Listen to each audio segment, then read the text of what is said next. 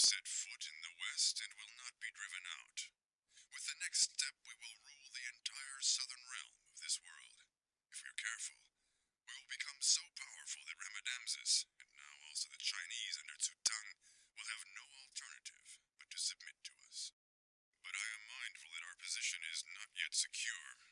The Pirates' Island is rich in raw materials, but poor in food, and I do not believe that Tsutang, or Ramadamses, who is planning his revenge far in the northeast, is prepared to negotiate. We may already be too strong for that. A group of three islands in the north could supply us with a bounty of food, but Tsutang is aware of them too. Good that Flavius has been able to capture a part of the pirate fleet, because we must be quick. If we can succeed in isolating Tsutang's islands from one another, we'll cripple his chance for victory.